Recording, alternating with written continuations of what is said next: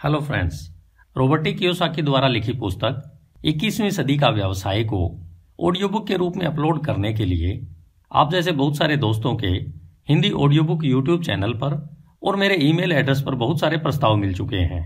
मुझे यह बताते हुए खुशी है कि मुझे यूट्यूब पर तीन चैनल मिले हैं, जिन पर 21वीं सदी का व्यवसाय पुस्तक हिंदी ऑडियो बुक के रूप में अपलोड की गई है। इसके माध्यम से इस बेशकीमती बिज़नेस सिखाने वाली पुस्तक को सुविधा अनुसार सुन सकते हैं। जिसमें पहला चैनल है रीड टू अर्न दूसरा है सेगोटा और तीसरा है नॉलेज हब 77 ये तीनों लिंक्स डिस्क्रिप्शन बॉक्स में दिए गए हैं। आइए बात करते हैं कि 21वीं सदी का व्यवसाय पुस्तक मुख्य रूप से किस बारे में है, किसके लिए लिखी गई है, और इससे आप क्या सीख सकते हैं। 21वीं सदी के आते आते दुनिया भर की विभिन्न अर्थव्यवस्थाओं में गंभीर मंदी के बादल मंडराने लगे हैं। रोज़गार के क्षेत्र में बड़े पैमाने पर कंपनियों की छंटनी, शेयर बाजारों में गिरावट और दिवालियेपन की खबरें सभी समाचार पत्रों में प्रमुखता से छपने लगी है। लोग यह सोचने पर मजबूर होने लगे कि वित्तीय स्वतंत्रता एक मिथक मात्र है। जबकि अर्थव्यवस्था खुद डूबी हुई है, तब वे खुद कैसे वित्तीय स्थिरता का अनुभव कर सकते हैं? रॉबर्टी कियोसाकी द्वारा लिखित पुस्तक 21वीं सदी का व्यवसाय इस निराशाजनक विचार की सोच को खत्म करने के केंद्र पर केंद्रित है।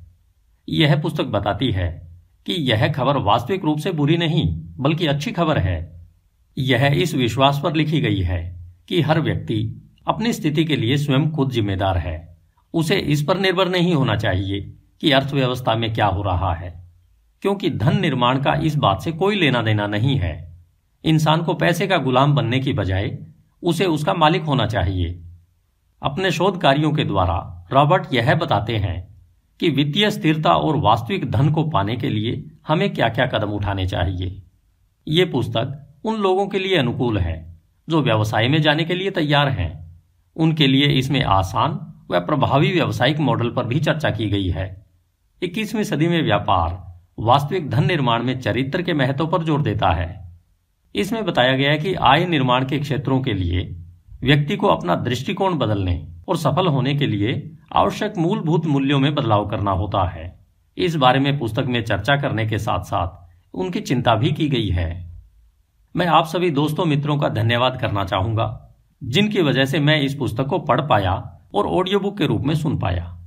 इससे मुझे बिज़नेस शुरू करने के बारे में ढेर सारी जानकारियाँ मिली हैं। धन्यवाद। Hindi audio book dot com आपका दिन शुभ हो।